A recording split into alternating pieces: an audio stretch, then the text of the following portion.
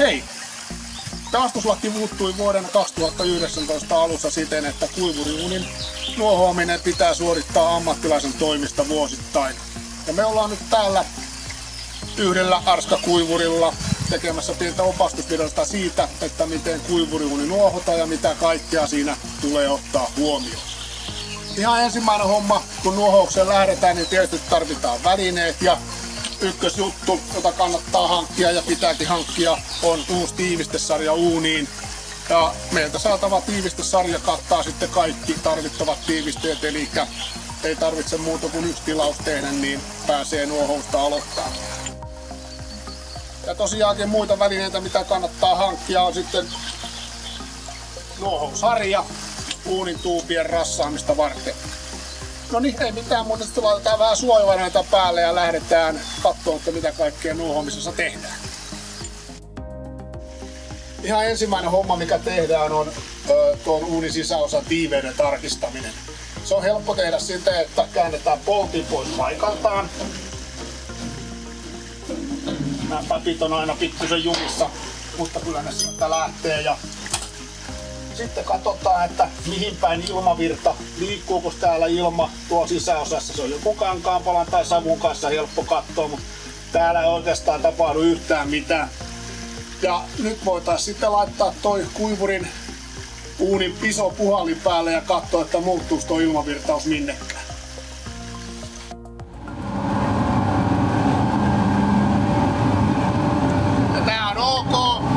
Minkäännäköistä virtausta mihinkään päin. Hyvä. Nuohous aloitetaan avaamalla nuohousluukut. Tuosta polttimen päältä otetaan yksi luukku auki. Uunin kansi irrotetaan ja sieltä alta sitten löytyy nuohousluukut.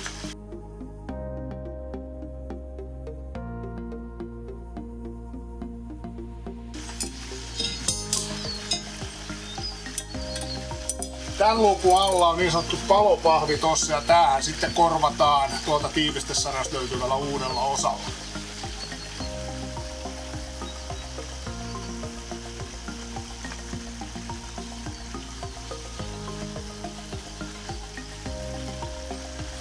Pikkusen tänään tuommoista ruostehiilsettä kerääntynyt. Tosiaankin nuohoamisesta on ollut jonkun verran aikaa, mutta polttimesta on pidetty hyvää huolta. Eli sen takia öljy palaa varsin puhtaasti.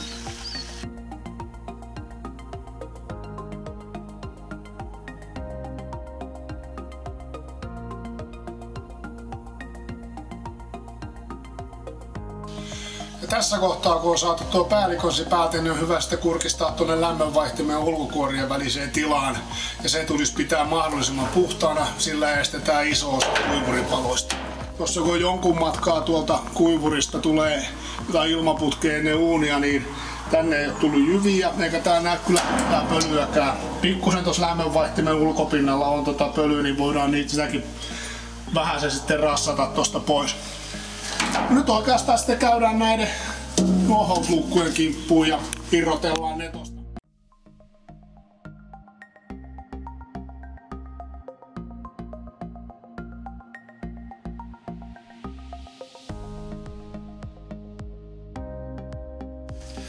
Täällä ylhäällä päin niin näyttää tosi siistiltä pikkusen on tuota ruostehiilsettä reunoilla ja itse näiden tuupien rassaaminen, niin se on sitten vaan ihan raakaa työtä. Painetaan tota harjaa tuosta tuupista sisään ja vedetään ulos. Voimaa joutuu tosiaankin käyttää ihan kiitettävästi.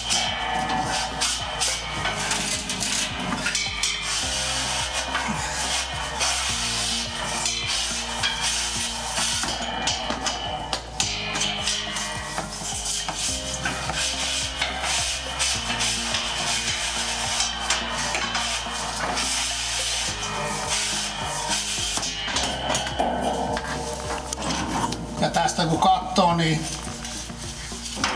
rassaamisen jälkeen sieltä lähtee noki pois ja sieltä tulee ihan kaunis puhdas rosteripinta esille.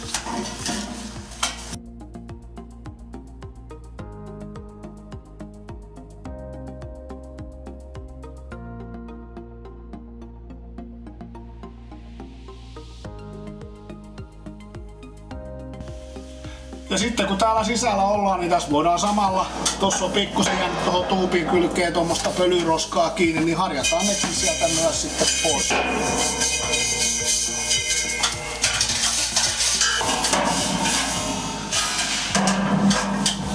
Hyvä. Ja nyt sitten vaan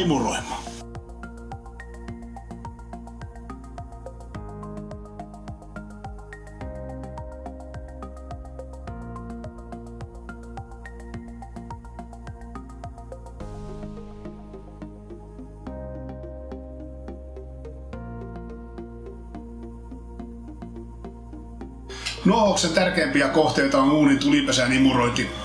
Tulipesän perä on uunin kuumipaikka ja sinne voi kerääntyä nokea, josta voi huonolla tuurilla aiheutua nokipalo. Jotta tulipesään päästään käsiksi, niin ensin pitää irrottaa öljypolttimen kiinnityslaippaa.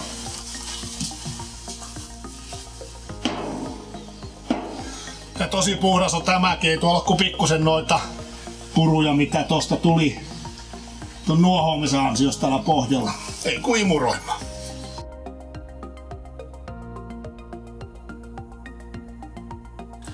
No niin ja nyt kun on saatu imuroitu toi puuni kauttaalta, niin on sitä aika aloittaa kasaaminen. Ja tässä välissähän meillä kävi sitten ammattinuohoja katsomasta ja hyväksy meidän tekemän työjäljen, niin ei mitään muuta kuin niputellaan.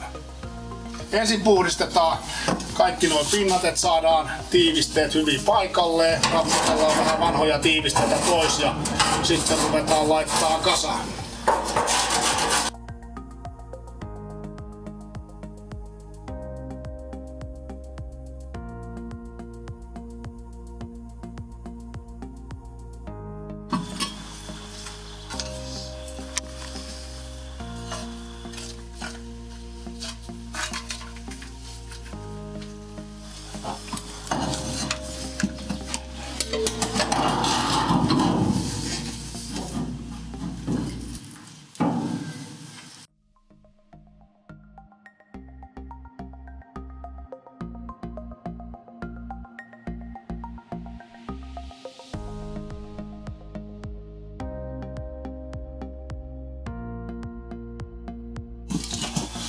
Tässä polttimen yläpuolella asennettavassa palopahvissa ei ole valmiita reikiä. Reijät kannattaa porata käyttämällä sapluunana luukun reikiä.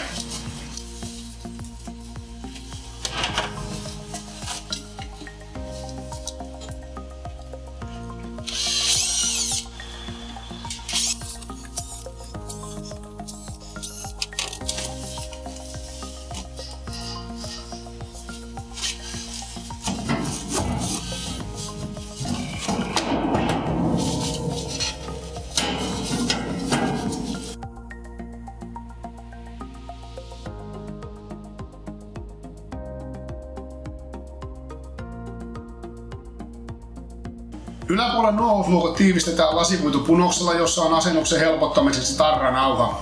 Asennuspinnat pitää puhdistaa huolellisesti, jotta tarran liima pitää nauhan varmasti paikoillaan.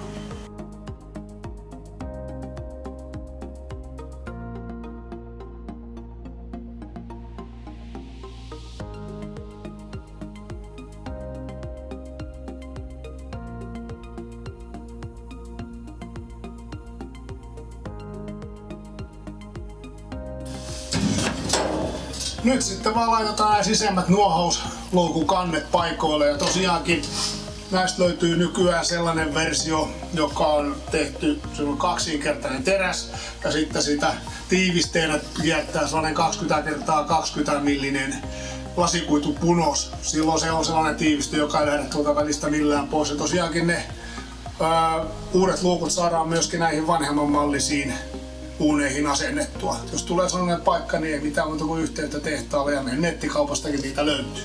Nostetaan kanne paikalle.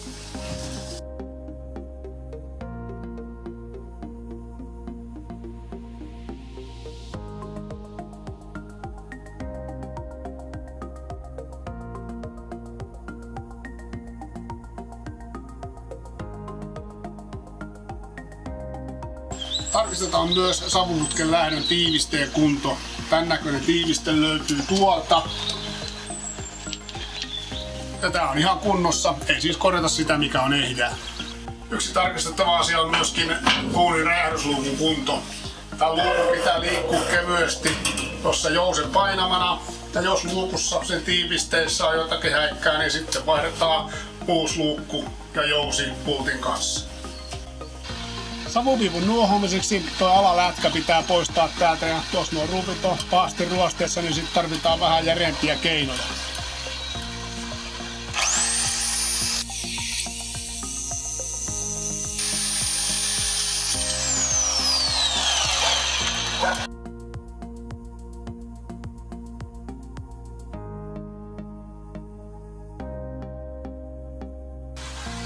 On ihan kohtuullisen siisti kanssa, totta kai tota korrosio on vähän tullut, mutta pääosiltaan toi jo tuommoista pientä hilsettä, eli varsinaista niinku nokea täällä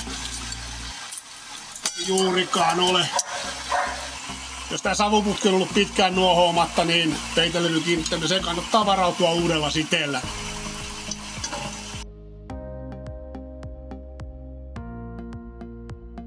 Ja ihan lopuksi tarkastetaan, ettei sisäosaan ole jäänyt vuotoja. Käännetään taas poltin pois paikalta ja laitetaan iso puhallin päälle. Paperi ei heilu eikä käteen tunnu virtausta, eli tiivistä on.